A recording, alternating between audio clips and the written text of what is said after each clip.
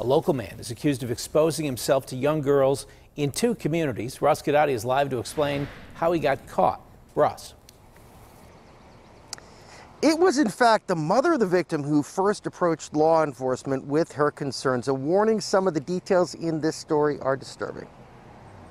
Michael Jeffrey Shoaf is facing charges of indecent exposure, endangering the welfare of a child, and corrupting the morals of minors from incidents that police say stretch back for several years. The allegation is that this type of behavior has occurred two, three, four times over a two or three year period. The 34 year old and father's alleged inappropriate behavior happened inside a trailer he was living in along Janet Court in Penn Township. This case was brought to our attention by a young lady's mother who relayed to us that she believed her 10 year old daughter had been you know, exposed to an adult male in an inappropriate situation. The child telling investigators that in addition to exposing himself, Michael Jeffrey Shoaf and the victim played hide and seek with another little girl inside the trailer. According to police, Shoaf and the child hid in the shower, and that's when Shoaf asked the child to touch his exposed penis. Investigators say the behavior would continue when Shoaf moved to this home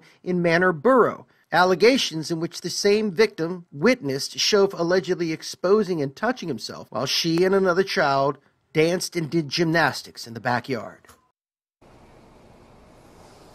All right, Shoaf right now free on $20,000 unsecured bond. Police stressing that this investigation is far from over. Reporting live in Greensburg, Ross Guidotti, KDKA News.